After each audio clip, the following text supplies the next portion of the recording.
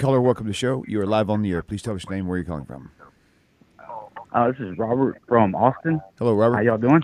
Doing good. How are you? Good, good. Hello, Rabbi. How are you? Shalom, doing very well, thank you. Good, good. Rabbi, I was wondering how the idea of of a hell crept into the Christian mind uh, and their, and their theology. If Judaism doesn't have that in there, there's no there's no like when you die you go to hell or you go to heaven and your soul will be judged. I'm wondering where the idea of of there's a place called hell that has fire and brimstone and it's an eternal place of damnation. I'm wondering where that came into their their um their thought processes on on where the soul goes after death. Very cool. Very cool. Okay, that is a great question, by the way. So um, go ahead and hang up now. You can tune in for your answer. Okay. Okay. Thank you, guys. I'm surprised it took so long for someone to ever ask a question like this. How did the concept of heaven and hell creep into Judaism? After all, if you look in Tanakh, it would be very hard to find. Gehenna, I'm just using that term because it's I just need to use conventional language, is a place where typically somebody would go who dies with some sin, and that sin has to be atoned for after a person dies. Now, we find this in Isaiah chapter 22, verse 14. But it's very, very rare that you would find any description of the afterlife in Tanakh. It's there, but you really would have to know where to find it. The resurrection of the dead, it's there. Isaiah 26, verse 19, Daniel 12, verse 2. But it's just it's scant what happens to your soul after you die. It descends up to heaven after the body is buried. Where? Ecclesiastes 12, verse 7. It's there, but very rare. In other religions, and I'm talking about Christianity in particular, it's all over the place, on every page, up and down, up and down, heaven, hell. And of course, the threat is that if you don't follow Christianity, you're going to go to hell. If you look in Tanakh, you'll find there's just a scant mention of this. It's there, but it's only inferred from the text. The question is, what is going on here? Now, I want you to listen very carefully. If you are God and you are writing a Torah, the word Torah means teaching, and you want people to live according to these teachings, that's what the word Torah means. The Torah, therefore, is an instruction manual for mankind. And you want to show that if you follow the Torah, you're going to be blessed in a certain way so that you know how to guide your life. Now, you're God. What would you do? Think about it. Would you say to people, if you don't listen to me, you're going to go to hell? And if you listen to me, you go to heaven? You wouldn't even waste your time with that. Why? Because it's unverifiable and it's unfalsifiable. It's silly. What you would do is exactly what the Torah says. The Torah tells you the following If you do not follow my way, Hisham be careful. If you don't follow my ways, this is what I'm going to do. Remember, you're God. You are not only the creator of the heavens and the earth, you control the heavens and the earth. And therefore, you could say, look, if you sin, I'm going to stop the rains. What effect will that have?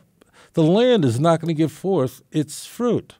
You're going to starve, and then you're going to be forced to turn back to me. I'm going to send you into exile. You're going to be there for 70 years, but you're going to return then, and I'm going to send you again. Now, if you're not God and you're writing a Bible, you don't want to ever include this kind of stuff.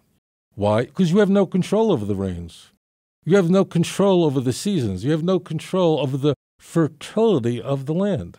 So, therefore, false religions, heaven and hell are all over the place. And think about, let's say you and I decide, you know what, no matter what you do for a living, religion is really where it's at as far as money goes. If we were going to write our own Torah, we were going to write our own fake Bible, what would we do?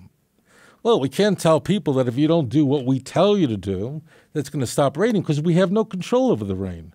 We wouldn't tell people that the land is not going to give forth this fruit because we're just making this stuff up.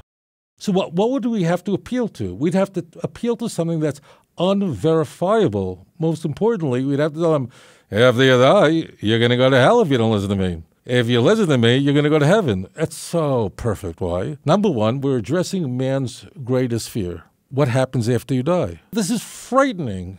Moreover, you can't check it like, what are you going to do really? How are you going to test this out? Are you going to go to Home Depot, buy a shovel, go to the nearest cemetery, dig up a grave, open the casket, and say, hey, buddy, Harry, what happened?" There's a big cross on your on your coffin. How did it work out? That can't be. That will never happen. When a religious document is just front loaded with heaven and hell, just all over the place, you could be certain this is a man made document. Because if you are God, why would you appeal to that?